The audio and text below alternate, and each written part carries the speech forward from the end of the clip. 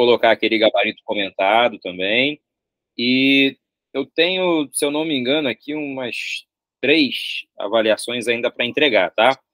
Depois que a aula acabar, as coisas se acalmarem aqui um pouquinho, eu começo a devolver o que está faltando para vocês, para quem me mandou dentro do prazo a correção do que vocês escreveram, tá certo?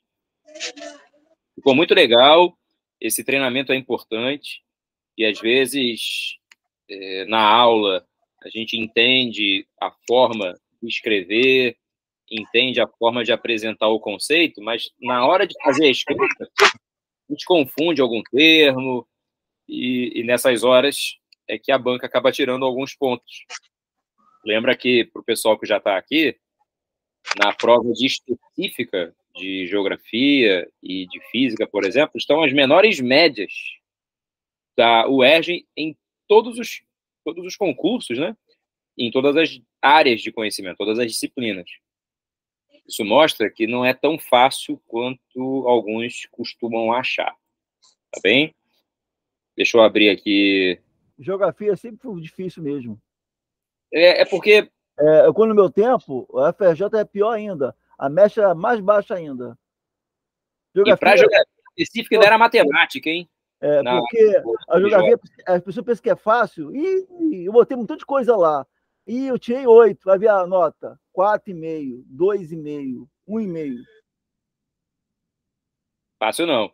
Ainda mais que tinha específica junto, que era de matemática, era um terror. Mas, de qualquer modo, é, é uma disciplina que exige que você entenda que as palavras né, são conceitos, como se fossem fórmulas na física, na matemática. É, forem empregadas de uma forma diferente, por exemplo, elas acabam perdendo sentido. Né? Hoje mesmo, estava dando aula numa outra turma, numa escola aqui do Rio, falando sobre o conceito de depressão econômica. É, explicar como conceito, né, depressão econômica, dinâmica econômica, parecem palavras soltas, mas elas têm seus significados, tá? Vamos lá, tá todo mundo vendo aí o material? Vendo a lista de exercícios? Perfeito. Bom, essa questão aqui é de cartografia, e uma cartografia bem difícil, tá? Porque ela fala sobre projeção cartográfica. O texto está assim, ó. É, um planeta sem distorções, físicos propõem a adoção de um novo mapa-mundi. Aí o astrofísico Gott e o matemático Van der Bay, o cosmólogo, chegaram ao conceito do disco aberto, mostrado abaixo, com o intuito de corrigir os equívocos do modelo usado da mesma forma há mais de quatro séculos, baseado na projeção de Mercator, ou Mercador. A projeção de Mercador ela é uma projeção cilíndrica que, ao ser elaborada, estabelece um mapa retangular que distorce de uma forma muito mais intensa as maiores latitudes. Enquanto, então, enquanto mais próximo dos polos, maior a distorção das áreas que estão sendo representadas por conta do objetivo do mapa, que é preservar né, os ângulos. Esse tipo de projeção é muito útil para você fazer uma análise didática, é o tipo de mapa mais comum né, que a gente está acostumado, mas ele, na prática, deforma consideravelmente as áreas né, que estão sendo representadas. Toda projeção, e elas podem ser cilíndricas, cônicas ou azimutais, né, azimutal ou plana, né, que é o termo que, que pode ser utilizado, todas elas, não importa qual, ou ela vai deformar ângulo, ou ela vai deformar forma, ou ela vai deformar a distância do mapa que está sendo apresentado. Existe um tipo de mapa, chamado de afilático, e ele deforma um pouquinho das três, ou seja, nenhuma das informações é precisa, para que as distorções sejam menores, mas nenhum, absolutamente nenhum mapa consegue representar a superfície sem causar alguma alteração, ou em ângulo, ou em área, ou em distância, tá? São conformes, equivalentes ou equidistantes, são os termos que a gente usa. Aí nessa pergunta aqui, Reparem que a imagem que está sendo apresentada, ela tem o polo tanto o Polo Norte né, quanto o Polo Sul, como referência no centro. E existem vários círculos concêntricos aqui, ó, a partir dos polos, para poder representar tanto o hemisfério norte quanto o hemisfério sul. É uma projeção bem diferente do que a gente está habituado. Tá? Ela não está errada, é só uma forma diferente de apresentar. Aí a pergunta é a seguinte: a notícia faz alusão às distorções produzidas pela projeção de Mercator. A partir dos seus conhecimentos sobre a cartografia, cite o contexto no qual foi proposta a projeção de Mercator. Olha que interessante, né? Uma questão que contextualiza o momento em que ela foi estabelecida. A palavra, né, mercator, está muito associada a mercador, porque vem do período mercantilista, né, das grandes navegações ali do século XV em diante. E é exatamente nesse período em que o mapa ele é criado.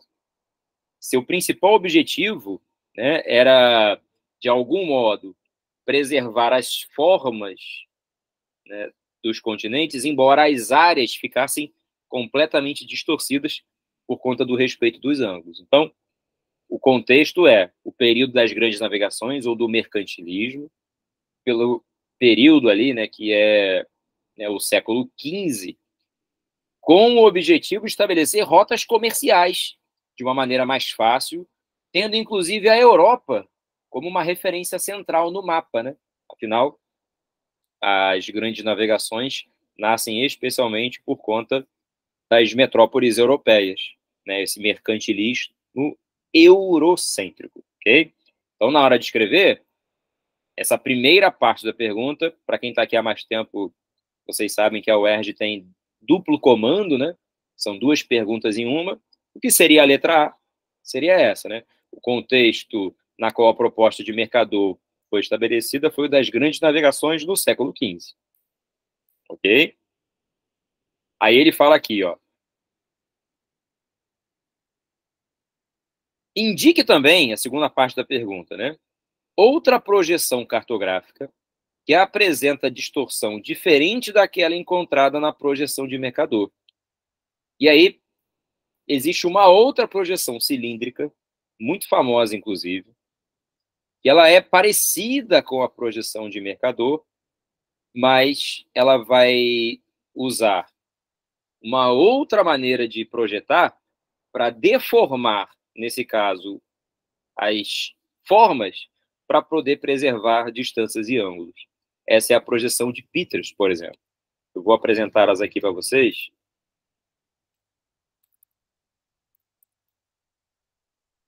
Ver se já está abrindo aqui internet hoje tá um caos. Mas vai. Aos pouquinhos vai. Até pensando em abrir um outro link aqui para facilitar essa velocidade que a gente precisa. Espera aí. Só um minuto.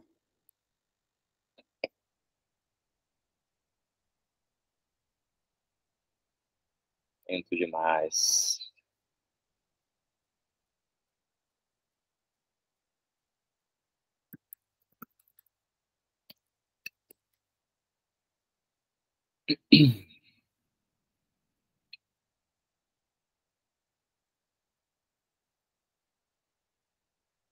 Agora vai.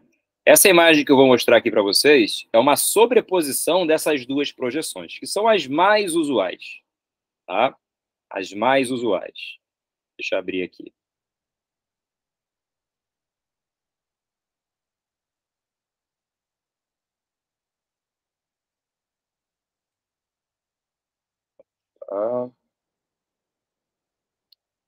Copiar.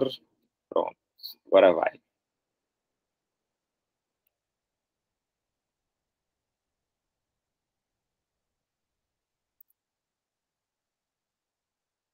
Depois eu vou liberar um materialzinho junto com essas imagens aqui. Ó. Já está aparecendo para vocês?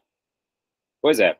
Essa projeção que está aqui embaixo, contornada em preto, Essa é a projeção de Mercador, ou Mercator, a que está sendo tratada na questão.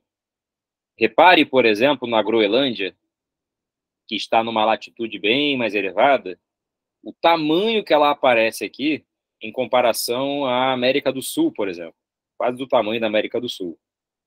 Obviamente não é assim, ela está distorcida, é uma área bem menor. Né? Mas como as latitudes mais elevadas são distorcidas, as áreas parecem maior do que de fato são nas maiores latitudes. Percebam que a imagem em verde que contorna aqui os continentes, que é a projeção de Peters, já apresenta a Groenlândia aqui ó, de uma maneira bem diferente. Tem deformação, né, tem distorção da área, mas ela já aparece menor do que essa aqui. Os dois mapas estão certos, eles apenas usam técnicas diferentes. Nessa aqui, que é a de Mercador, a Europa está no centro, modelo eurocêntrico. Na de Peters, que é uma crítica a esse modelo eurocêntrico, você vê que o continente africano está localizado nessa porção mais central. De verdade, em termos de distribuição, a de Peter se parece muito mais com a realidade do que a de Mercador. Ok? Então, na hora de citar uma outra pro projeção, que vai se apresentar de uma forma diferente dessa existente aqui, uma que você pode citar é exatamente essa, a projeção de Peters que também é uma projeção cilíndrica, mas ela é de equivalência, ela preserva a área dos continentes em detrimento à preservação de suas formas, ou seja, eu deformo mais, embora eu preserve as áreas. Na de Mercador, eu vou preservar, né, de certa forma, as formas dos continentes, embora eu distorça as áreas que estão sendo apresentadas, sobretudo nas maiores latitudes. Tudo bem? Questão bem difícil, hein? E hoje, professor, tem algum pensador que também distorce os mapas com intuito, com intuito ideológico? Ou, ou, as pessoas que projetam o mapa Office têm que, têm que se aproximar mais, mais próxima da realidade? porque naquele tempo ninguém criticava. Havia uma, uma, uma, uma superioridade ideológica de dominação também, né? As pessoas não pensavam naquele tempo, oh, acreditavam que o tamanho era aquele mesmo. E hoje, não existe essa distorção mais? É, ideológica existe sim, embora por conta até da evolução técnica das das ferramentas usadas na cartografia, né, imagens de satélite, aerofotogrametria, entre outros, é muito difícil você estabelecer algum erro em cima da ferramenta que está sendo utilizada. Você tem a escolha de uma técnica, dependendo da projeção, essa que aparece na questão, por exemplo, chamada de azimutal ou plana, que tem o centro do mapa como referência, é muito usada para geopolítica. Dá uma olhada, por exemplo, nessa projeção que aqui está, em que eu tenho o Polo Norte de referência. Olha a distância da América para a Ásia, onde a Rússia está. Pouca gente fala disso, mas essa distância aqui pelo Estreito de Bering é como se fosse a distância Rio-Niterói. Tem 14 quilômetros. A ponte tem isso, 13 quilômetros. Tá? Eles estão muito mais próximos do que a gente imagina daqui.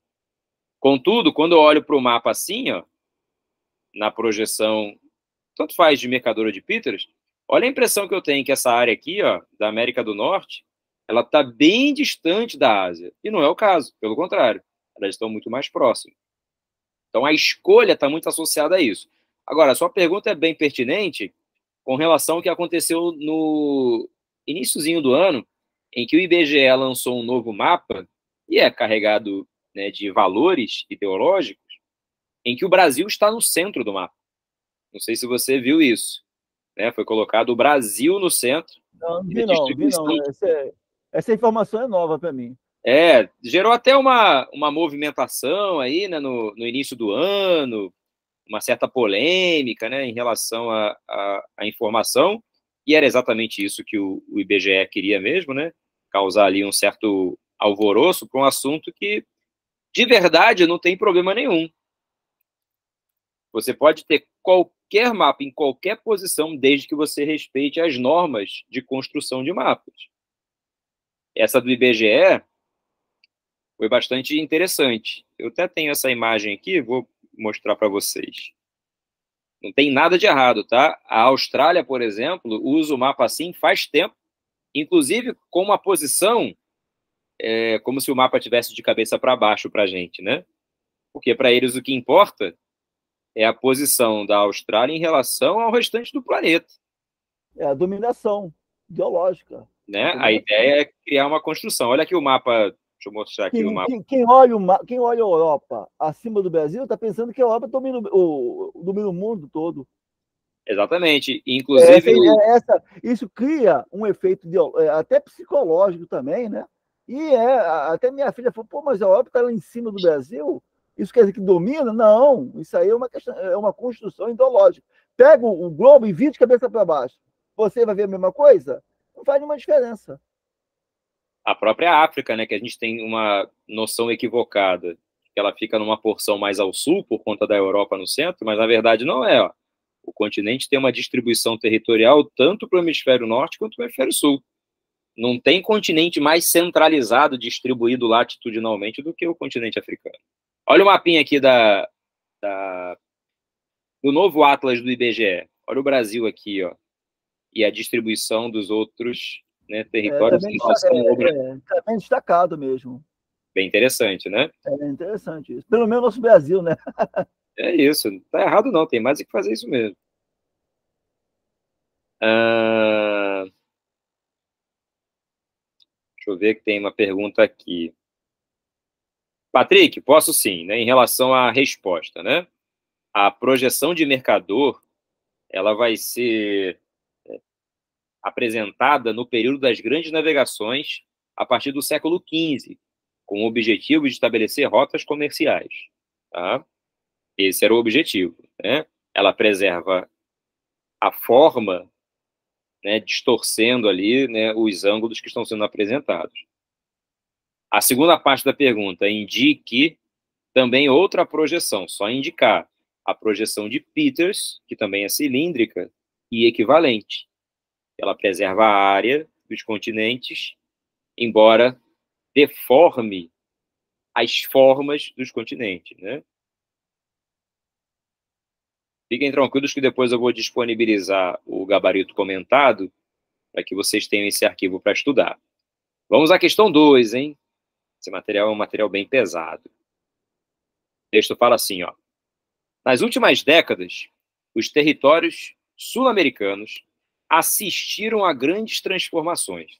Uma delas foi a transferência da população para as cidades, né, saindo do campo, o que se deu em velocidade muito maior do que aqui do que aqui os serviços de infraestrutura conseguiram acompanhar. Ou seja, migrou muito mais gente para a cidade do que a cidade foi capaz de se estruturar para recebê-los. Isso afetou os ambientes de maneira profunda e contribuiu para o aumento dos desastres naturais, contribuiu né, para a desigualdade social ser mais intensa, contribuiu para a segregação espacial, para processos de favelização, entre outros. Mas a questão é específica sobre né, desastres naturais. Um espaço que tem pouca infraestrutura, inevitavelmente sofrerá mais com problemas ligados às enchentes, ligados aos deslizamentos de terras, né? Você vai ter uma infinidade de fatores ali. Mas no caso da tabelinha que ele está mostrando aqui, olha que ele direciona para alguns fatores naturais que o homem não consegue ter interferência, como é o caso do terremoto e do vulcão, por exemplo. Né? É uma força da natureza interna, endógena, que a gente não consegue é, atuar né, sobre eles nas inundações, nos escorregamentos, né, que são os deslizamentos, esses a gente atua, muitas vezes comprometendo na superfície é, fatores ainda mais graves de inundação e escorregamento por conta da impermeabilização do solo, do desmatamento, da ocupação irregular de área de encosta, entre outros. Mas aí a pergunta é a seguinte: A tabela a seguir, retirada da mesma fonte, apresenta algumas metrópoles sul-americanas situadas na Cordilheira dos Andes, com população acima de 750 mil habitantes, e apresenta também os riscos de eventos que promovem desastres naturais. Então, eu tenho a soma de fatores naturais e antrópicos, naturais e humanos. Né, os naturais são principalmente os internos, os agentes internos, e os né, antrópicos, aqueles que modelam a superfície, os agentes externos. Eu entendi a pergunta, já acho, acho que eu entendi a pergunta. Não é tão difícil, não. Aí ele fala: a partir do exposto e de seus conhecimentos sobre os fenômenos naturais que podem deflagrar desastres naturais em aglomerados urbanos da América do Sul, responda quais os agentes endógenos e exógenos responsáveis pelos desastres naturais nas metrópoles indicadas na tabela. Então vamos lá. Quem que é agente endógeno, não é interno? É aquelas encontram as placas tectônicas, né? Que elas se encontram, formam as montanhas, o vulcão, entendeu? Então. É, eu colocaria isso. Então, existem Agora... três agentes endógenos, tá? O tectonismo, que é o movimento das placas, a Cordilheira dos Andes está exatamente ali num trecho de encontro de duas placas. Como o Chile, para o Chile. Chile sofre mais ainda. E essas áreas, elas são mais suscetíveis a abalos sísmicos, né, que são terremotos, e a vulcanismo. Então, quais são os agentes endógenos aí da tabela? Né? Ele já te dá terremoto e vulcanismo. Então, você vai descrever aí, ó. É, é, os desastres naturais nas metrópoles indicadas na tabela destacam-se como endógenos o vulcanismo e os terremotos. E o que são os agentes exógenos, né? Que ele pergunta também. Só existem chuva, dois. Chuva, é, chuva, é, é, grandes precipitações, chuva muito forte, que pode é, causar inundações. Aqui, né, a seca, a inundação, o ah, seca também. Relacionado a esses efeitos ligados a uma chuva exagerada, como a erosão pluvial, a muito vento, a erosão eólica, ao desgaste das rochas pelo intemperismo. Aí a gente tem que ir no conceito, tá? Poderia botar um efeito estufa? Nesse caso, não. É, é uma pegadinha, né? Porque essa questão ela é conceitual. Só existem três agentes endógenos: tectonismo, vulcanismo e terremotos, abalos sísmicos. Só.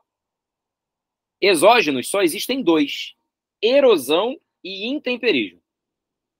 Então, na verdade, embora a questão ela te dê os agentes endógenos, os exógenos não estão claros na, na tabela.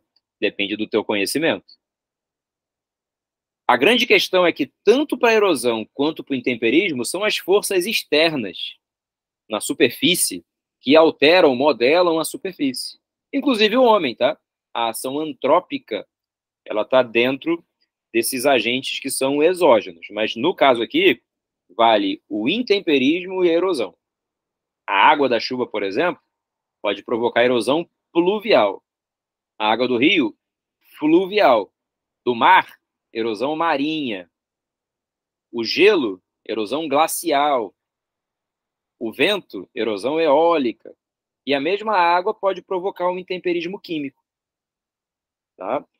Qual é a diferença entre eles? Né? A erosão tem a ver com o processo mecânico, físico, de retirada de materiais da superfície, que são transportados para um outro lugar, por uma dessas forças que eu citei, e depositados em um outro lugar.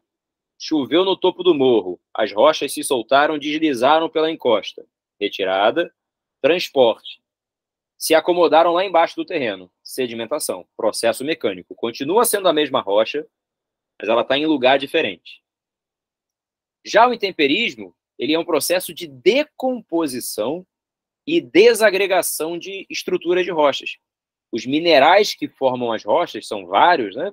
Eles se desgastam, se decompõem de maneira diferente. E isso vai promovendo ali fissuras, né, rachaduras nessas rochas, que podem, por sua vez, colapsar. E aí, quando elas se soltam, acontece a erosão. Os processos estão acontecendo concomitantemente. Mas essa primeira parte da pergunta é mais fácil. ele fala, né? Que podem deflagrar desastres naturais em aglomerados urbanos. Responda as quais os agentes endógenos e responsáveis pelos desastres naturais.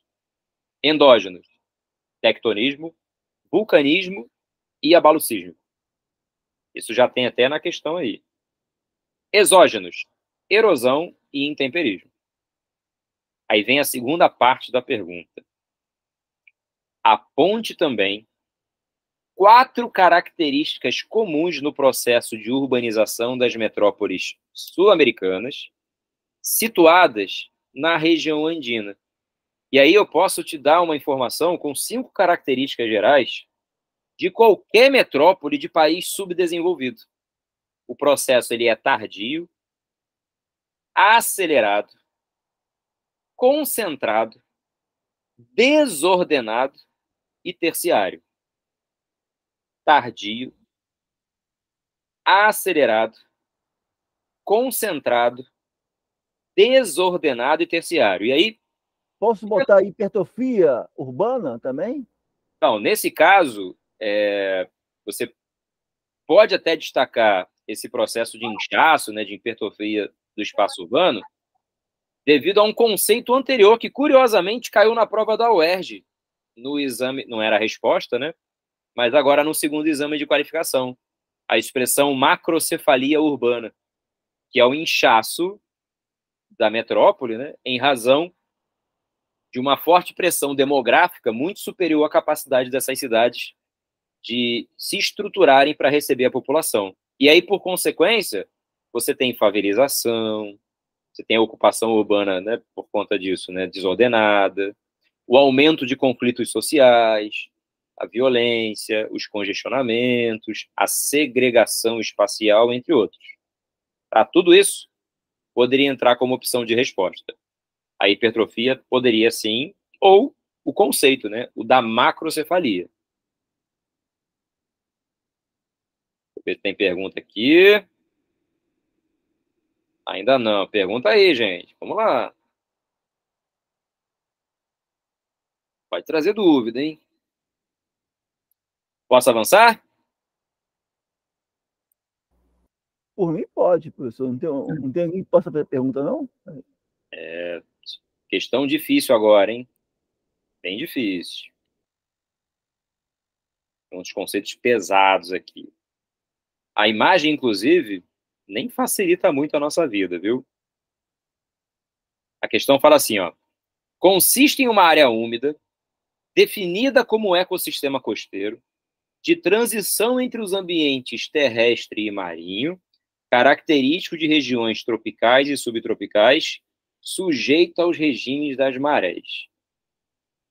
Um fragmento de definição sobre um determinado tipo de bioma, ok? Biomas representam características de fauna e flora de um determinado ecossistema.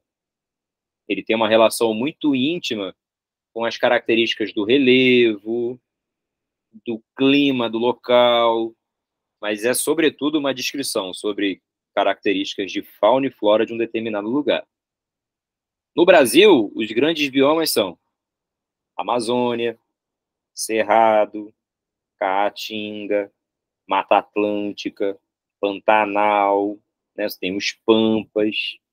Esse... No, caso aí, no caso aí, seria os manguezais. Eu acho que está querendo saber dos manguezais. Exato. E dentro. É, manguezais.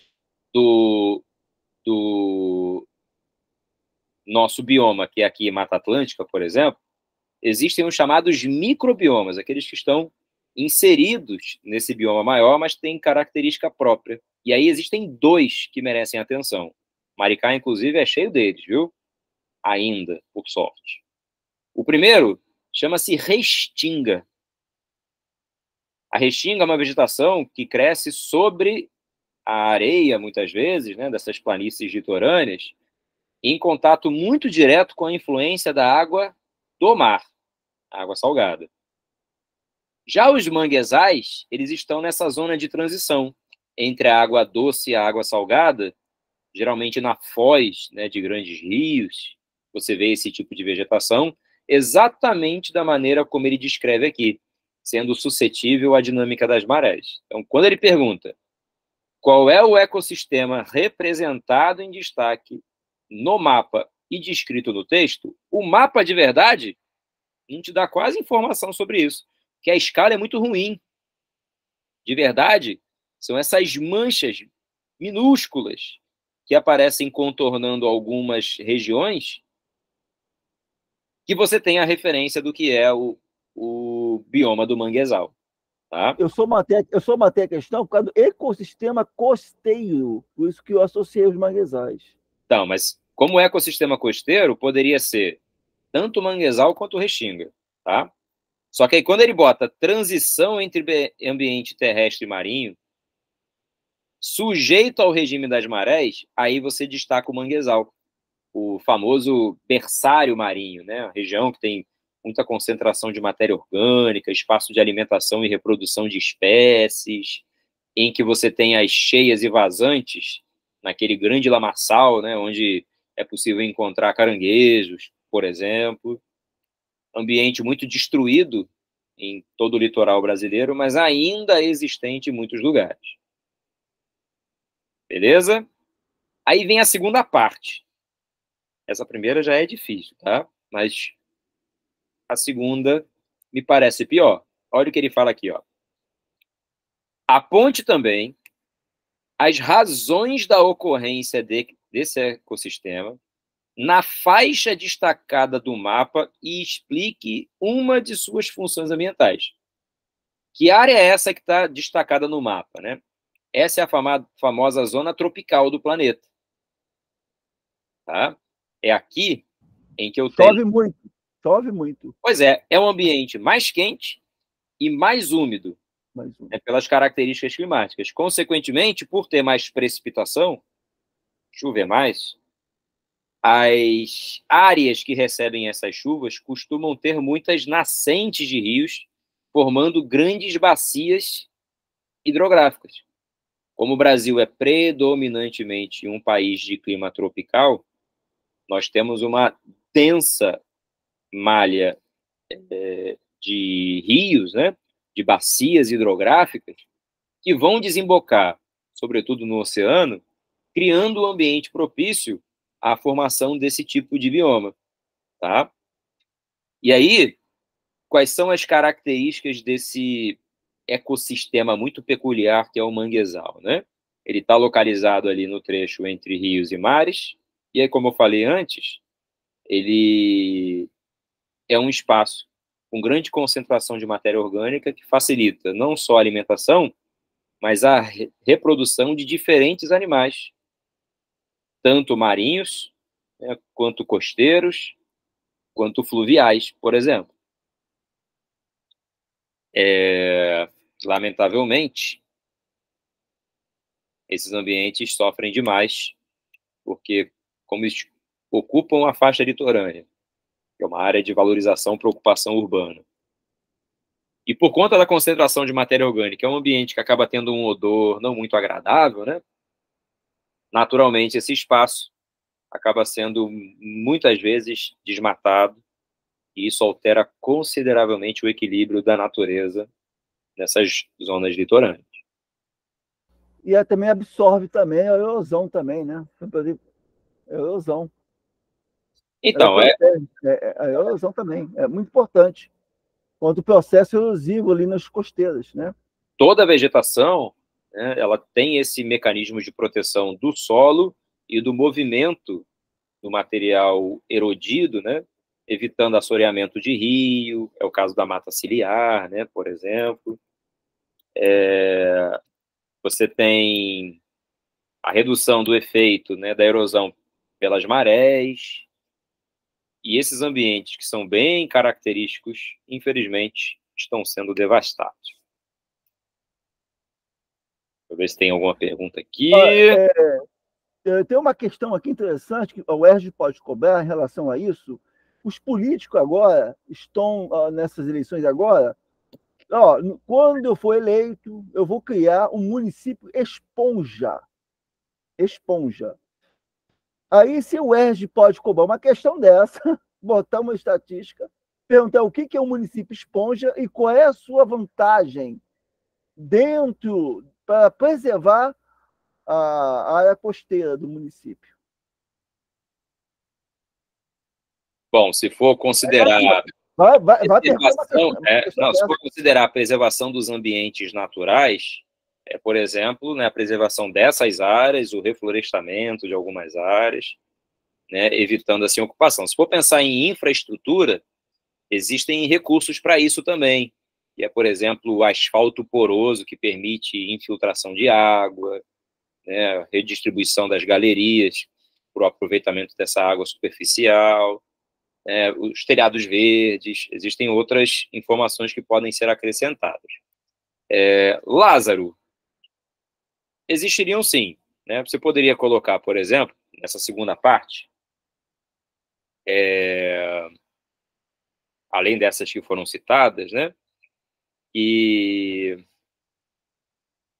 esses espaços são importantes abrigos para a reprodução de espécies e também para a alimentação né, de espécies costeiras, marinhas, é, atividades ligadas à pesca, por exemplo, se beneficiam muito da preservação desses ambientes exatamente pela capacidade reprodutiva existente nesses ambientes. Né? Isso tudo poderia entrar na sua resposta.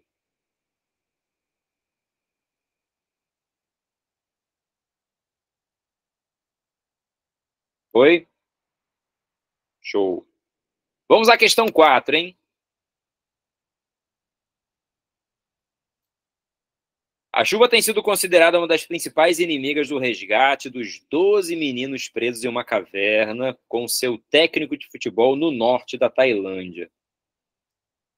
É a previsão para as próximas duas semanas é de tempestades diárias na região, o que é comum nesta época do ano, conhecida como o período das monções no Sudeste Asiático. O Sul e o Sudeste da Ásia representam as áreas que mais estão vulneráveis ao chamado clima de monções. O clima de monções se caracteriza por verões extremamente chuvosos, e invernos extremamente secos. E aí, para quem não lembra desse caso aqui, é, alguns meninos passeando foram é, entrar numa caverna, choveu muito, a água inundou parte da entrada da caverna e eles ficaram presos lá dentro. Felizmente, eles foram salvos, né? Mas esse tipo de sorte não é muito comum. A pergunta aqui é sobre o clima de monções, tá? Olha a pergunta. Com base nos seus conhecimentos sobre as chuvas torrenciais, explique o que são as monções, quais as suas causas e como esse fenômeno ele ocorre no Sudeste Asiático. Olha essa imagem aqui primeiro, que eu vou abrir para vocês. Ela ajuda a entender bem a dinâmica que existe nessa região, tá? É um esqueminha bastante tranquilo para a gente poder utilizar. Deixa eu ver se já abriu aí para vocês. Está abrindo.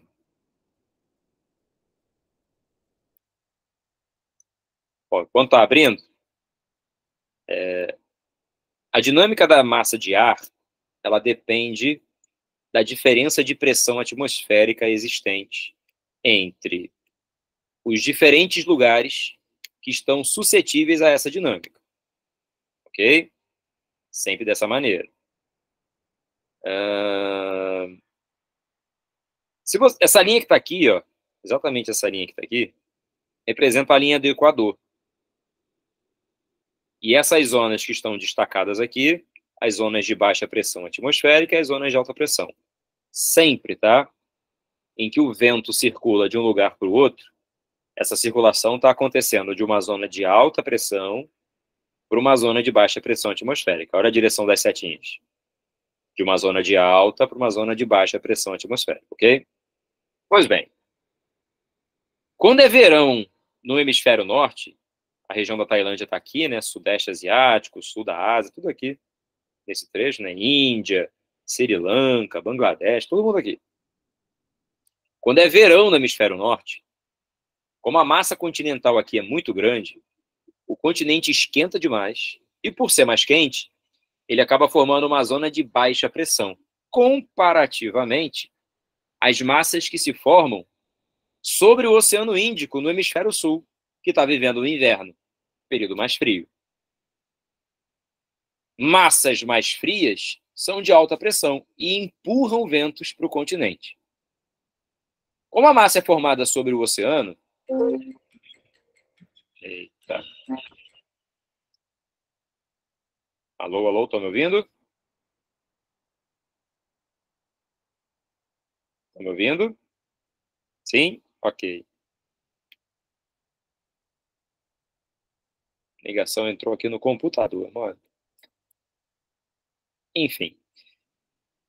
Como a massa se forma sobre o oceano, ela é naturalmente uma massa úmida, que vai caminhando aqui ganhando mais umidade nesses trechos aqui que a água está mais quente, por ser verão do hemisfério norte. O problema é que quando chegar aqui, exatamente aqui, existe uma cordilheira aqui, que é a cordilheira do Himalaia, que acaba funcionando como uma barreira física intransponível para a distribuição dessas massas em direção ao interior do continente asiático concentrando as chuvas exatamente aqui no sul.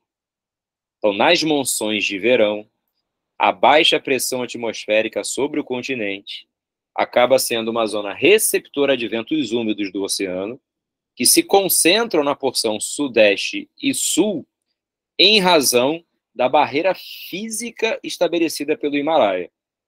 Essas chuvas são torrenciais e duram semanas, tá? Não é à toa que a risicultura, o cultivo de arroz, é comum nessa região, principalmente nessa época. É o tipo de cultivo que dá para fazer em terreno alagado, né? Agora, quando chega o inverno, a situação muda. O continente esfria muito mais, formando uma alta pressão no ambiente seco, afinal é continental, e empurrando ventos em direção ao oceano, impedindo a chegada de massas úmidas. No inverno, acontece o oposto, essa região fica extremamente seca, tá? Essa é a pergunta, ó. Com base nos conhecimentos sobre chuvas torrenciais, explique o que são as monções, quais as suas causas e como esse fenômeno ocorre no Sudeste Asiático. E a resposta, né? O clima de monções, sobretudo no verão, é muito chuvoso, uma vez que predominam ventos úmidos da alta pressão sobre o oceano em direção ao continente, concentrando essa chuva no sul em razão dos efeitos da cordilheira do Himalaia. É, o Himalaia ele é representado por montanhas muito elevadas, né? A massa de ar não consegue passar por cima dela. À medida que ela ganha altura, ela perde temperatura e precipita perde a umidade toda aqui. E como está chegando massa úmida, chegando massa úmida, a chuva acontece sempre no mesmo lugar. Tá?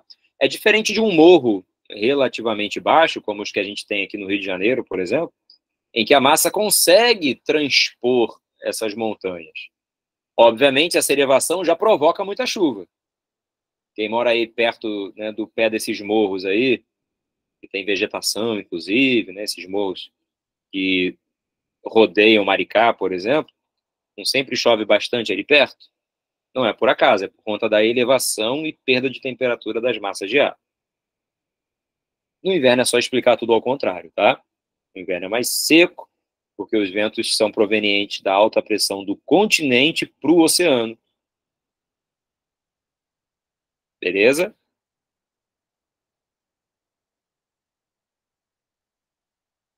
Não se preocupem com a, a parte do texto, porque eu vou colocar para vocês o gabarito comentado. É, você aqui, por exemplo, ó, vou colocar esse gabarito depois lá para vocês. Tem, ó, tem a explicação toda aqui. Ó. O importante é entender a dinâmica. Eu vou mandar, inclusive, o material com essas imagens que eu estou usando para complementar o estudo, tá bem?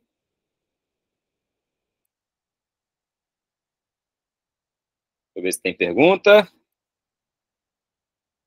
E cadê vocês? Tá. Cadê? Vocês estão me vendo? Ah, tá aqui. Beleza. Questão 5, hein? Desenhozinho bastante tranquilo. Essa já é uma questão um pouco mais fácil. Percebam que tem aqui o destaque sobre a precipitação. Chuva, né? Tem setinha mostrando a evapotranspiração. Chuva que fica presa aqui e evapora a partir da transpiração dos vegetais.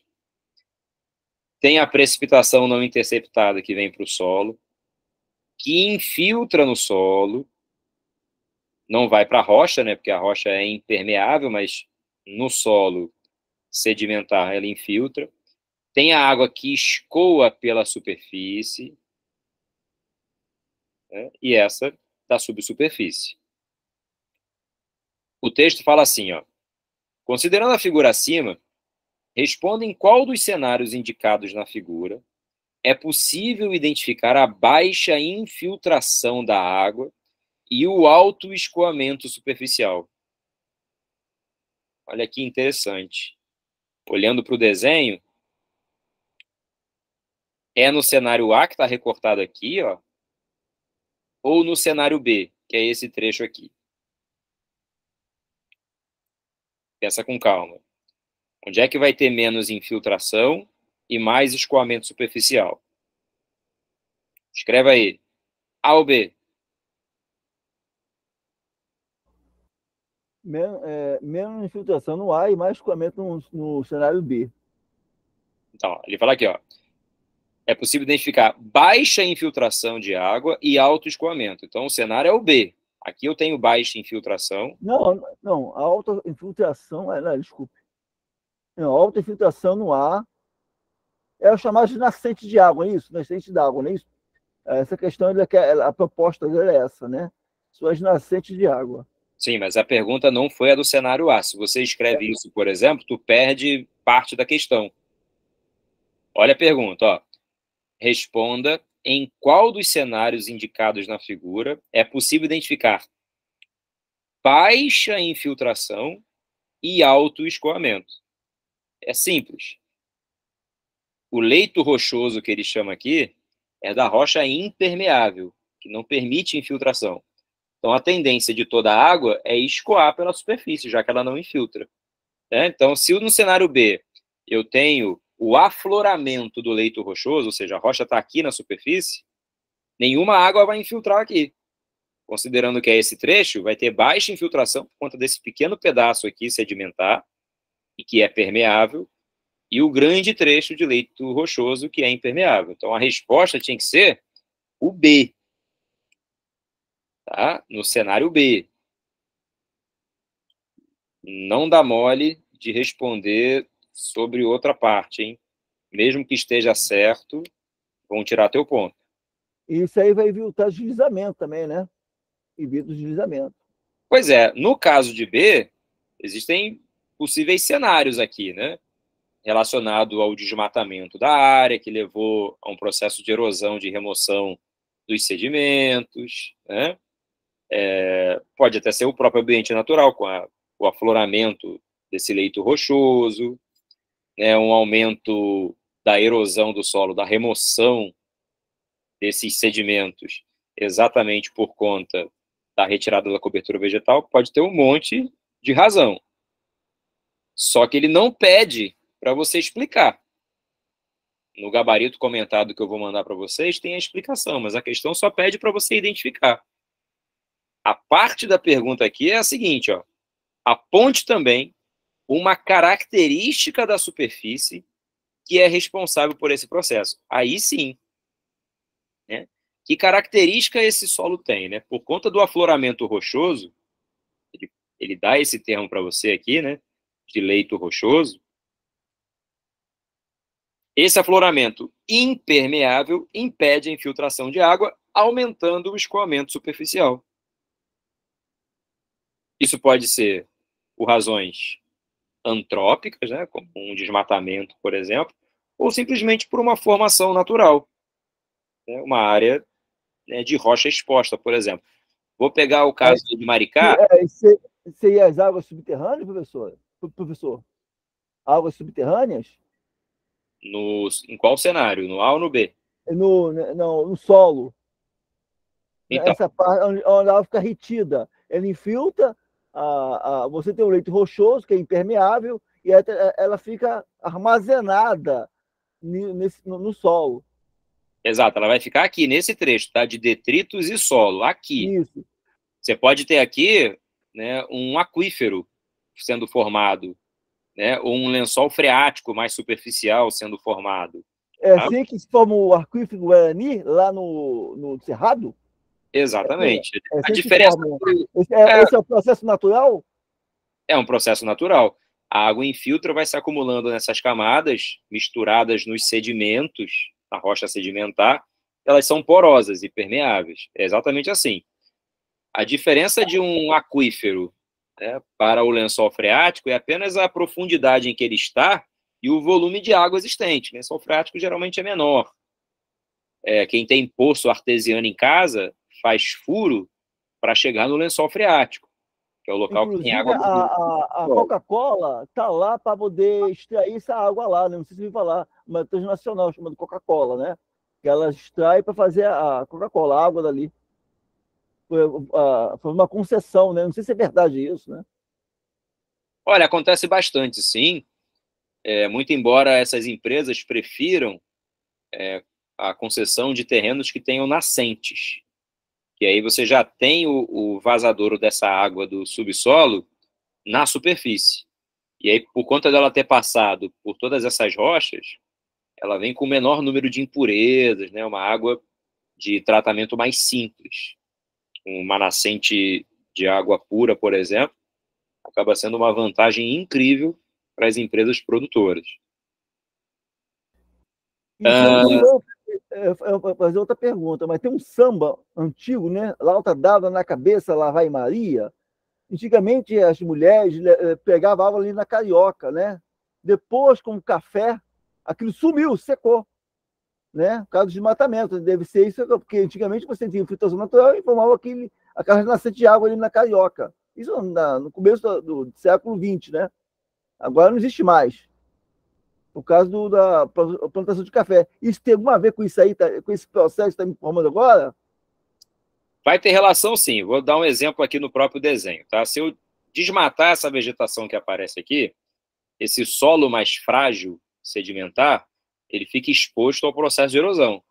E aí eu vou removendo esse material aos poucos. E a água, ela deixa de infiltrar, porque o caminho mais fácil para ela chegar lá embaixo do terreno é pela superfície. Então, se está infiltrando ah, tá, água, tá, entendi, entendi, o reservatório entendi. tende a desaparecer. No caso do Rio de Janeiro, as nascentes mais importantes ficam, ficavam né, na floresta da Tijuca, como do Rio Maracanã, por exemplo. E elas vinham lá de cima, né, drenadas, essas minas d'água, né, e inclusive canalizadas. Os arcos da Lapa, por exemplo, por onde passam os bondinhos, eles foram construídos como aquedutos. Eram dutos de água, passavam por ali por cima, vindo da floresta, tá? Quando eu desmatei aquela área para plantar café, isso de fato aconteceu, é, o plantio de café alterou a condição natural, né, porque removeu boa parte da vegetação, que retinha água. E o que aconteceu? As nascentes secaram. Tanto é que tinha uma musiquinha famosa na época, né, tipo marchinha de carnaval, que era Rio de Janeiro, cidade que me seduz, de dia falta água, de noite falta a luz. É, minha avó cantava, minha avó cantava isso. Questão 6, hein? Mais uma de cartografia. Eu separei nesse módulo aqui só questões, dessa vez, né, da geografia física. E alguns temas que são chatinhos, hein? Essa questão, por exemplo, é uma questão que fala de escala. Escala cartográfica, ela funciona para você definir o tamanho da área que você vai observar num determinado lugar com relação à informação que você deseja destacar, sendo ela maior ou menor em área ou maior ou menor em detalhes que estão sendo apresentados. Essas quatro imagens aqui, ó, A, B, C e D mostram Cornélio Procópio, nessa letra A aqui, ó, vou aumentar um pouquinho para ficar melhor de ver, em que você destaca, inclusive, os quarteirões que formam a área ocupada. Você consegue ver as linhas, os nomes das ruas, o nome aqui da Câmara Municipal, né? Enfim, você tem um nível de detalhamento muito grande, como se você estivesse dando um zoom numa câmera, aproximando-se da cidade.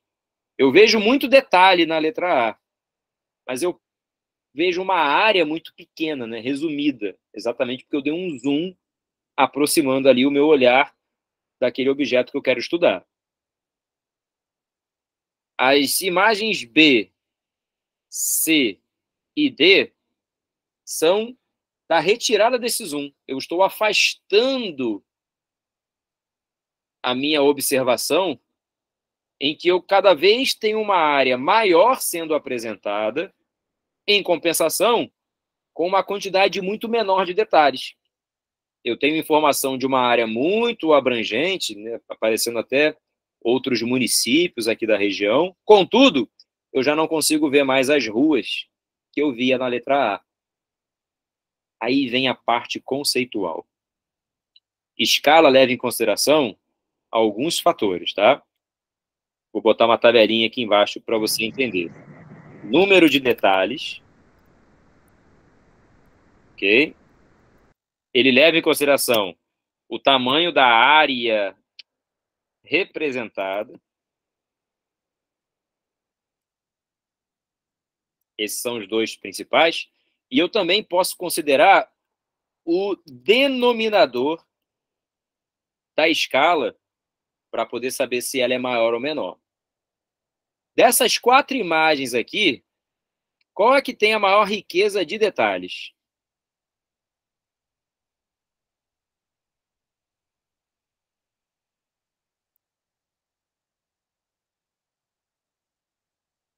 Detalhe é a quantidade de informação quando eu dou um zoom da câmera para poder observar.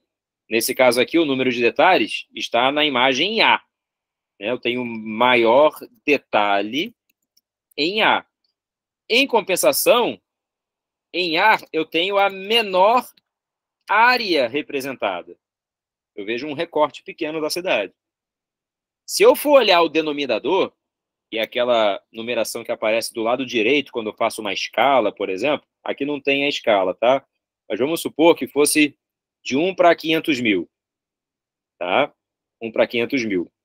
Quanto maior é esse número aqui, maior é o tamanho da área que eu coloco dentro de um centímetro do mapa. Tá? É assim que eu leio. Então, se eu tenho um mapa de 1 para 500 e um outro de 1 para 500 mil, o mapa de 1 para 500 é o que vai mostrar maior detalhe e menor área. E o detalhe define se a escala é grande ou pequena. O mapa A aqui é o de escala grande, porque ele tem maior detalhe e menor área. Se tivesse o denominador, ele teria o menor número possível aqui entre essas imagens representadas. Já em compensação, D, que é o último desses mapas aqui, ele vai ter uma escala considerada pequena, porque ele tem menor detalhe em D, embora apresente a maior área. E aí, para ter uma área grande, eu preciso fazer com que os centímetros que eu encontro na natureza caibam dentro de um centímetro do mapa. E aí, quanto maior o número que ali tiver representado, não importa qual, maior é o tamanho da área que está sendo ali colocada dentro de um centímetro do mapa. A pergunta é: diferencias sob o ponto de vista cartográfico e explique por que elas apresentam conteúdos distintos. A definição é muito simples, tá? Muito simples. Basta você considerar, por exemplo, que as figuras se diferenciam sob o ponto de vista cartográfico, porque as escalas cartográficas são diferentes. Cada imagem ali tem uma escala diferente. Dessa forma, Os conteúdos são distintos por apresentarem, respectivamente, da figura A até a figura D, menor a maior redução do espaço representado, que levará a níveis diferentes de detalhamento da área representada. Felipe, dá um exemplo mais simples que eu não entendi. Isso é difícil mesmo, tá? Pensa no mapa do Rio de Janeiro e no mapa Mundi. O Rio de Janeiro não está no mapa Mundi? Está. Mas para fazer o mundo caber numa folha de papel, eu tive que fazer mais reduções para que áreas maiores caibam dentro de cada centímetro daquele mapa. Enquanto que do Rio de Janeiro, eu dei um zoom no Rio de Janeiro. Eu tive que fazer menos reduções para que o Rio de Janeiro caiba dentro de cada centímetro naquele mapa. Quem é que tem escala grande? O Rio de Janeiro ou o Mapa Mundi? Responde aí para mim.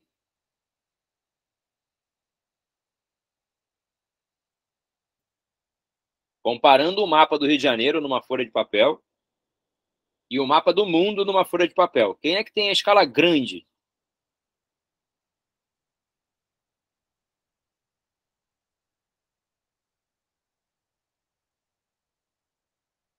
Vamos, gente, aqui é o espaço que a gente pode errar.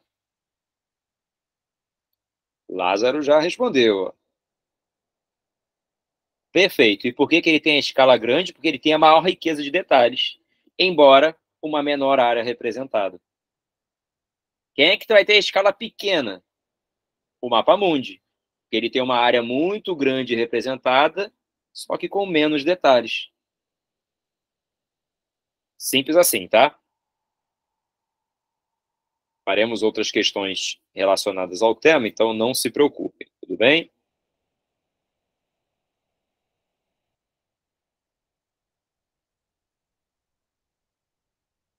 Mudando aqui um pouquinho de assunto, para dar uma aliviada na cabeça, né? já que a geografia física, na maioria das vezes, é um terror. Olha essa questão aqui, ó. Número 7. Ah, deixa eu ver se tem pergunta. Não. Questão número 7.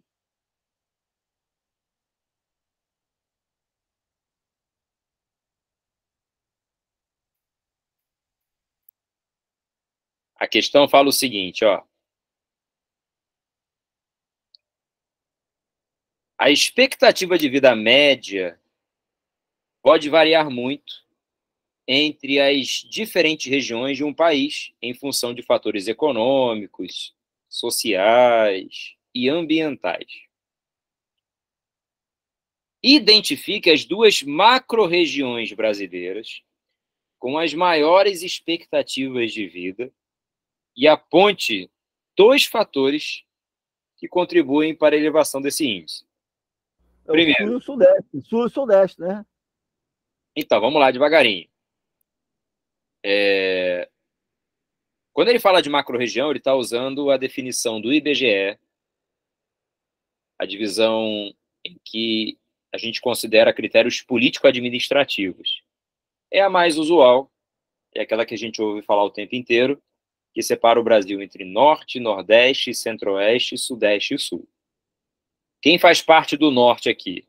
É, Acre, Roraima, Rondônia, Amazonas, Pará, Tocantins e Amapá. Tá, tá aqui.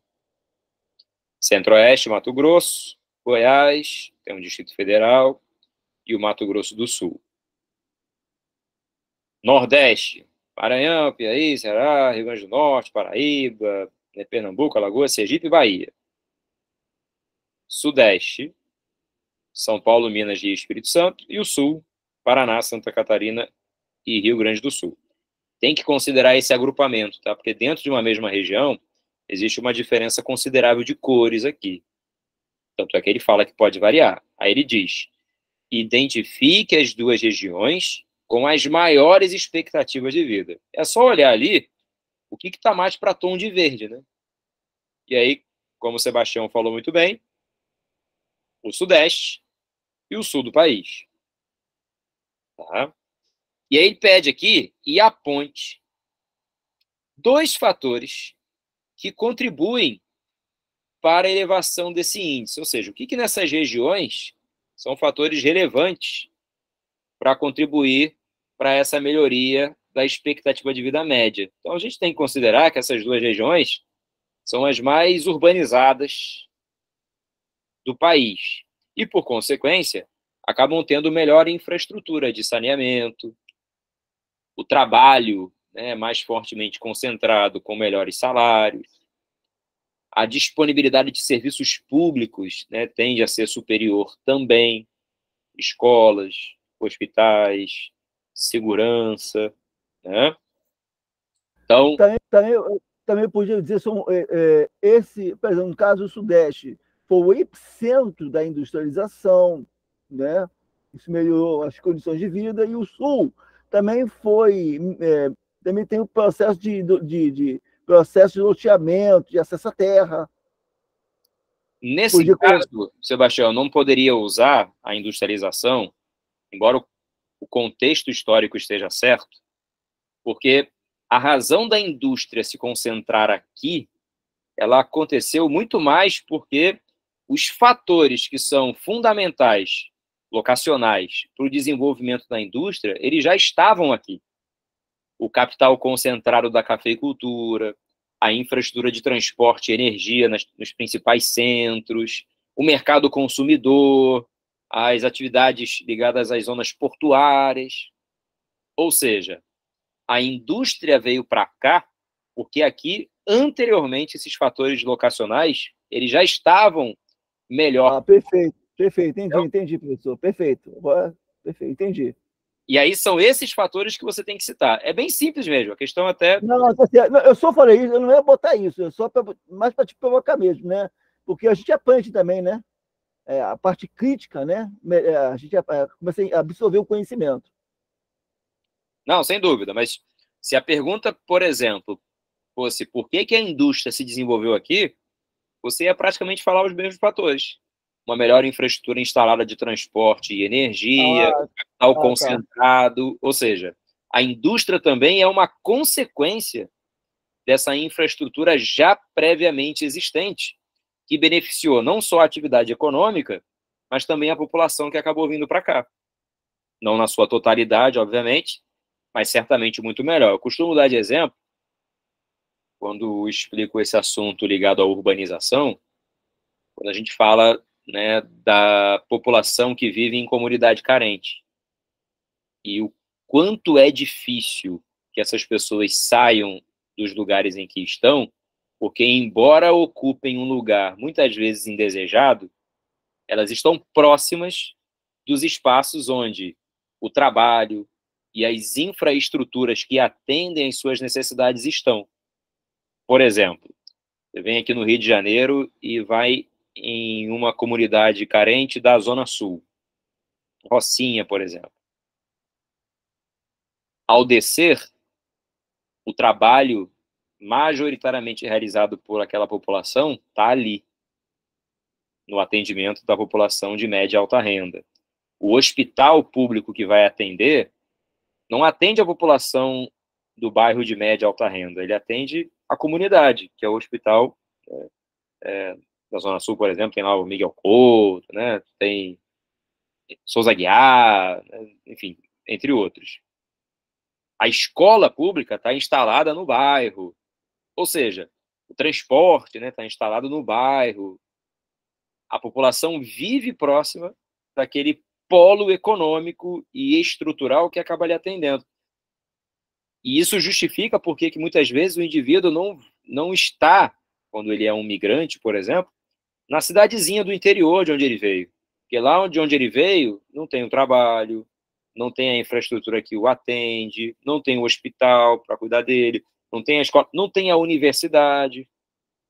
Pensa no pessoal de Maricá, por exemplo, que vai estudar na UF, Ainda não tem polo da UF em Maricá, já vai ter, né? Já há um acordo para construção, mas até lá você vai ter que se deslocar para outra cidade. Se você quiser fazer a UFRJ, Não tem. Acho que eu vou morar, acho que eu vou morar em Maricá, Maricá com me aposentar, eu e minha esposa. É, tô pensando. Tá fazendo propaganda, né? É uma cidade que, que tem investido é, em educação. Tá crescendo, tá crescendo muito, mas todo mundo fala de Maricá, não sei porquê. O, o ponto difícil é o equilíbrio entre crescimento, que esse é de fato muito acelerado, e desenvolvimento, né? A prefeitura tem tentado aí manter esse equilíbrio. O facilitador é a verba, né?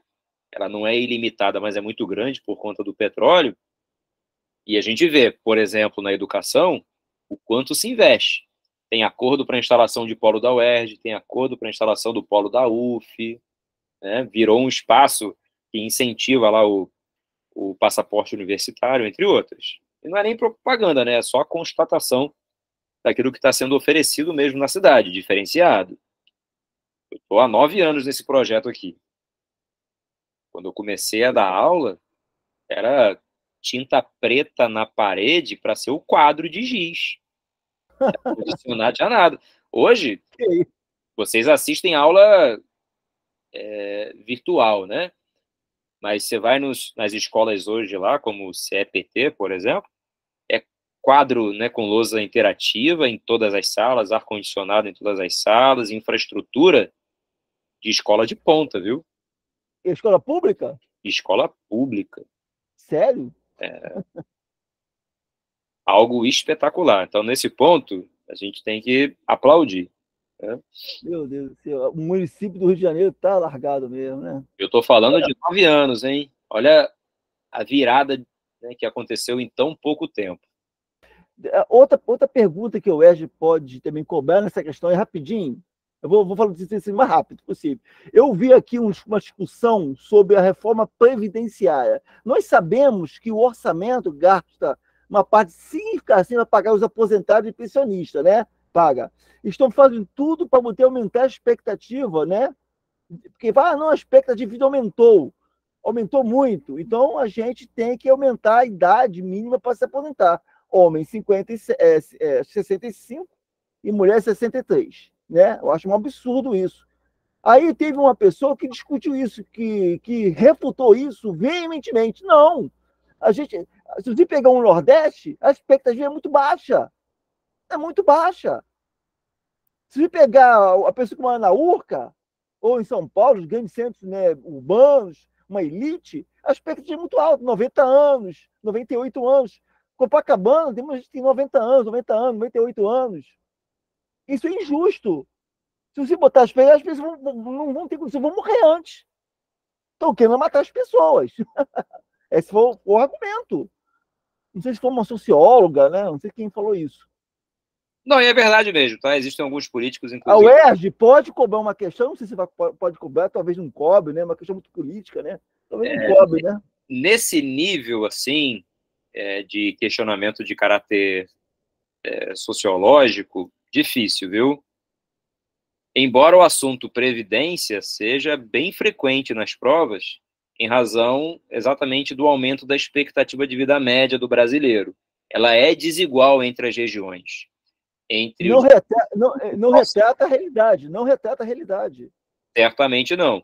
Mas, é, considerando a expectativa de vida média, que está subindo em todos os lugares, as respostas são sempre as mesmas, tá? A reforma previdenciária, para corrigir os gastos. Porque esse é um problema planetário. Nenhum país conseguiu resolver o problema da Previdência, em razão desse aumento de expectativa de vida. É, o nosso caso aqui é uma combinação de valores, né? não é só a idade e nem o tempo de serviço, é uma soma entre idade e tempo de serviço atualmente. E vai piorar, viu? Pessoal mais jovem aqui do grupo, a expectativa de se aposentar é mínima. É, é, é brabo. Tá brabo. E na Europa é diferente a realidade. Lá é a pessoa mais velha, né? Está envelhecendo muito. Aqui né? também. Aqui... Também, a diferença. Mas o nordestino é baixa a expectativa ainda. Não, não, Eu sei, mas o aumento é comum a todas as regiões. O que muda é o patamar em que cada um está. Está todo mundo aumentando a expectativa de vida, embora ela seja muito desigual entre as regiões. Pegar o caso da é Itália, verdade, mudou, é mudou, a faixa Mas... de idosos, né? A Itália mudou a faixa de idosos é, para 72 anos atualmente. Só vai ser considerado idoso quem chegar ali. Olha o impacto disso né, na sociedade. É, aqui a gente considera idoso né, com 60, 65 anos, dependendo do, da atividade ou do município. Lá já está em 72. É, em que condições esse idoso ele vai conseguir permanecer no mercado de trabalho com determinadas funções que exigem, por exemplo, um esforço físico que a natureza já não permite mais que ele realize. Né? Esse é um tipo de discussão que, que merece muita atenção. O fato é o seguinte: as reformas previdenciárias acontecem sistematicamente. Qualquer um que fosse aposentar vai estar sujeito a elas. E aí, essas reformas, elas só são realizadas de três maneiras. Aumentando o tempo de trabalho, né, de contribuição. A segunda, aumentando o valor da contribuição, é o percentual que sai do seu salário para o pagamento da aposentadoria, e a diminuição do benefício, que é o valor da aposentadoria que você vai ter. E aí, como essa combinação é cada vez pior, e não importa a categoria, todo mundo está perdendo, não perde igual, mas todo mundo está perdendo, é, muitos aposentados hoje, mesmo quando eles cumprem tempo necessário de idade e trabalho, muitas vezes eles não podem se aposentar, ou, quando se aposentam, voltam para o mercado de trabalho para complementar a renda, porque a aposentadoria sozinha não é capaz de suprir as suas necessidades fundamentais. Isso é terrível, viu? No mundo inteiro, ninguém tem solução para isso. É, Vamos à questão 8? Olha que questão legal, hein? Sobre tem uma tabelinha, né, sobre temperaturas. Deixa eu ver se tem mais alguém aqui. Ó, vocês estão deixando o Sebastião falar, ele fala muito bem, contribui bastante para a aula, mas vocês também podem ajudar aqui, viu? São discussões importantes para o nosso andamento. Questão número 8. Tabelinha janeiro, março, maio, julho, setembro e novembro, mostrando a cidade de Petrópolis e a do Rio de Janeiro. A questão fala de fatores climáticos. Quando a gente estuda clima, existem duas informações que são fundamentais. A primeira, a dos elementos climáticos. Não é o da pergunta. Elementos. Elementos, como o nome já sugere, são elementares, existem em todos os lugares, e são três, essencialmente: temperatura, umidade e pressão. Já os fatores climáticos são aqueles que alteram as características dos elementos. E aí a lista é grande, viu? Entre os fatores climáticos, eu tenho a altitude, eu tenho a latitude, eu tenho maritimidade, tenho continentalidade, tenho massa de ar, tenho corrente marítima e tenho vegetação. Esses são os sete principais fatores climáticos que vão mudar temperatura, umidade e pressão.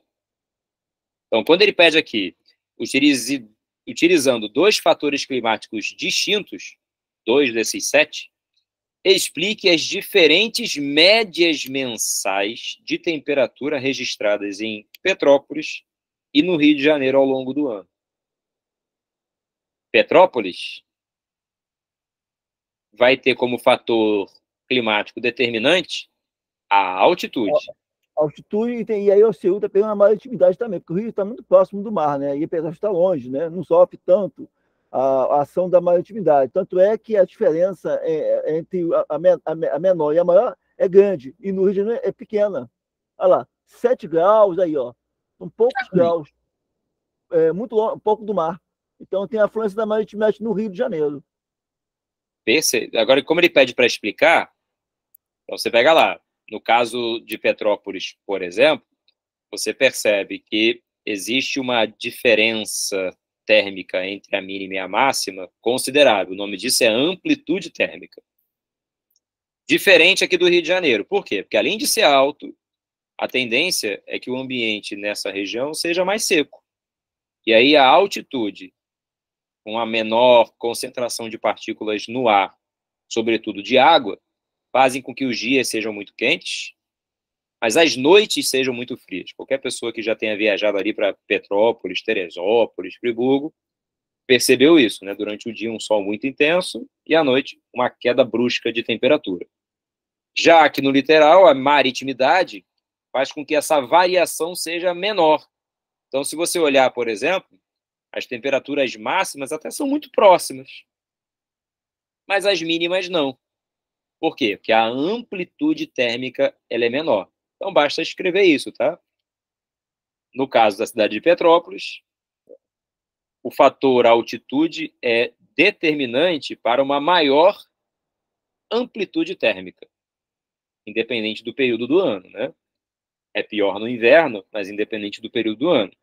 Enquanto que no Rio de Janeiro, no litoral e sobre o efeito da maritimidade, acaba tendo temperaturas médias maiores e menor amplitude térmica. Questão Só bonita, questão bem, questão bem feita, né? Bonita a questão. Muito legal, porém difícil, porque ela é de conceito direto, né? E embora ele peça para você escolher fatores climáticos distintos, só cabia altitude e maritimidade para poder explicar essas duas cidades. Se eu estou em uma cidade na região amazônica, aí daria para usar vegetação. Eu estou numa região central do Brasil, daria para falar de massa de ar. Mas aí dependeria do lugar e do fator climático que altera suas características. Interessante, viu? Interessante. E, ó, para acabar, questão número 9. Essa região que você está vendo aqui, ó, era o centro-oeste na década de 50 e o centro-oeste na década de 90. Reparem que houve uma mudança significativa na divisão política da região. Por exemplo, né, Goiás, que era bem maior, teve a perda de uma parte da sua região com a criação do estado do Tocantins. É, o Tocantins passou a ser um novo estado muito em razão da mudança na legislação a partir da Constituição de 88, que permitiu a emancipação de estados e municípios. Assim como, aqui é mais difícil de ver, a divisão do Mato Grosso, né, entre Mato Grosso e Mato Grosso do Sul. Pela mesma razão. Ok? Se você olhar aqui, ele pergunta exatamente na primeira parte da questão isso. Indique duas mudanças político-administrativas ocorridas na região entre 50 e 60. Vai escrever. Dentre as mudanças político-administrativas, podemos citar a divisão do estado do Mato Grosso em Mato Grosso e Mato Grosso do Sul e a divisão de Goiás em Goiás e Tocantins. Ainda tem uma terceira possível, tá? É essa aqui, ó, pequenininha, com a criação do Distrito Federal. Em 1950, eu ainda não tinha o Distrito Federal. Em Brasília, né, era a capital no Rio de Janeiro. O Distrito Federal era no Rio. A transferência só vai acontecer em 1960. Tá? Mas essa era uma, uma informação um pouco mais difícil de lembrar. Tá? Essa é a primeira parte. A segunda é: cite ainda duas características socioeconômicas atuais da região relacionadas à atividade agropecuária. Agropecuária, né, ligada a algum cultivo agrícola ou criação de animal. Então, se você olhar aqui, ele destaca a mudança entre uma agricultura, por hora, tradicional, para uma agricultura mecanizada. Ele mostra é, agricultura e pecuária melhorada, né? a pecuária extensiva, o extrativismo ainda existindo, mas numa área bem menor do que existia. Basicamente, o que eu estou vendo é uma evolução tanto do espaço urbano, né, com a criação do Distrito Federal e a ocupação humana, como também do desenvolvimento de práticas agrícolas ligadas ao agronegócio. Uma agricultura mais moderna, né, mecanizada, voltada para exportação em grandes propriedades, né, mas, sobretudo, ligadas ao agronegócio. Então, dentre as características socioeconômicas, a gente pode citar a elevada taxa de urbanização, a produção agropecuária moderna, é, uma expressiva capacidade de produção agrícola, né, voltado para o atendimento dos mercados, sobretudo o mercado externo, né? E no gabarito estendido, eles aceitaram até falar sobre a estrutura fundiária. Historicamente, quem está aqui assistindo às aulas há mais tempo, a gente já teve aula de agrária, né? Historicamente, a terra no Brasil tem um caráter concentrado. A concentração fundiária sempre foi muito forte. E a cada momento que passa, essa concentração ela se intensifica. Porque no agronegócio, o grande capital tem um poder que o pequeno agricultor tradicional não consegue ter. Perdão. Ou seja, essa característica também é uma tendência ao longo da evolução e ocupação do espaço agrário brasileiro. Nossa, mãe. Tem uma, tem uma questão aí da, de cima, porque se, se a questão perguntasse qual é a diferença histórica do, do Nordeste, do, da parte mais do Norte, e do, do Mato Grosso do Sul e do Norte, você tem uma elite mais histórica que, que ocupa o poder há, há anos talvez essa divisão ocorreu para que é, outra elite do agronegócio chegasse ao poder. Nesse caso, não, tá, Sebastião? Porque. É, isso, isso eu tô, não, eu estou pensando numa questão aqui, assim, é, né? Porque esses pessoas que chegam ao poder no Mato Grosso do Sul são pessoas ligadas ao agronegócios, é uma elite totalmente diferente. Não é a mesma elite lá no Nordeste. Né? Aquela elite que vem lá, lá da, da colônia, né? Brasil Alagoas, Pernambuco. A maior ainda, parte. Ainda, ainda tem ainda, ainda existe ainda, voto de cabeça incrível ainda. Né? Não, eu fui mas... para o Nordeste, eu fui para o Nordeste, eu vi isso, cara. Sim, no Nordeste, aqui no Sudeste e até mesmo para o Sul, esse modelo colonial mais tradicional, ele ainda se faz muito presente. Para o Centro-Oeste, no entanto, já há uma mudança importante o agronegócio está muito mais ligado ao capital estrangeiro que ingressa no Brasil, ao deslocamento de produtores de colonos sulistas para o centro-oeste, com o incentivo do governo para a ocupação daquelas terras. Então, assim, embora eles hoje representem uma elite econômica, ela é diferente daquela colonizadora, tá? Talvez seja uma nova forma, né? Mas é diferente. É, é, é, o chamado, é, uma, uma reportagem, fosse assim, a nova elite eu não entendi muito bem. Saiu de, de, no jornal, não sei se você conhece, Le Monde, de, é, Diplomite, a nova elite do Mato Grosso do Sul, ligado à nova elite. Eu pensei isso, é. pô, se é a nova elite, tem a velha elite, né? Esse jornal, Le Monde Diplomatique, né, é um, de origem francesa, é um excelente jornal para quem está aqui no grupo de humanas para ler, viu? Eu, eu, só leio ele, porque o resto, brincadeira. Tem propaganda ele... nenhuma, é só conteúdo com artigo né, de referência científica. É, para geopolítica, é uma excelente leitura, viu? Eu recomendo. Queridos, já estourei aqui o nosso tempo um pouquinho, mas felizmente deu para fazer as questões todas. Tô, assim que eu terminar aqui, eu vou postar o gabarito comentado, como vocês estão vendo aqui. Vou postar para vocês e em algum momento eu mando o restante das correções dos materiais de quem me mandou, tá certo? É... Deixa eu ver se tem alguma outra pergunta.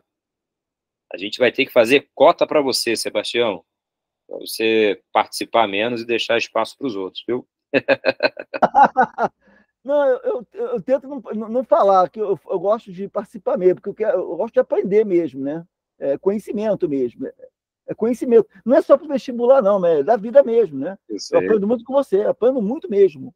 Você enriquece muito as nossas aulas, meu amigo. Eu, você que me enriquece, ao contrário, você que me é? enriquece. É, esse debate é sempre muito legal. Não, e convido os demais a debaterem também. É, mas viu? os outros têm que participar mais, né? Você tem que falar, os outros têm que participar. É porque hoje também, Sebastião, teve um pessoal que começou, né? Tá aqui iniciando só. A gente já está há mais tempo junto aqui, então já criou uma intimidade, né? Mas, pessoal, fiquem à vontade, viu? Aqui é o espaço que a gente pode trocar e tirar a dúvida mesmo, tá certo? E com a possibilidade de errar. Né? Não tem problema nenhum. Aqui a gente pode, tá bom? Fiquem com Deus, beijo a todos e até a próxima aula, né? Valeu, professor. Obrigado. Nada, foi um prazer.